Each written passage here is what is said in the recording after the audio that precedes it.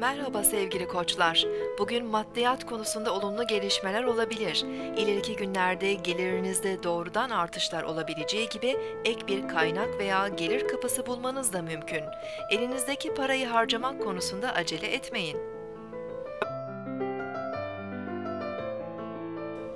Bugün 1 Nisan 2014 Salı, Mars günündeyiz.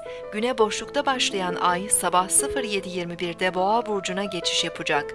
Geçtiğimiz 1-2 güne göre daha dingin ve huzurlu enerjiler devrede olacak. Maddi manevi güvenliğimizle ilgili konular öne çıkarken kişisel zevkler ve rahatlık günü biraz yavaşlatabilir. Bugün Güneş-Jüpiter arasında oluşacak kare açı özgüvenimizi ve cesaretimizi arttırıyor. Abartılı ve riskli hareketlere karşı temkinli olmalıyız. anomalies.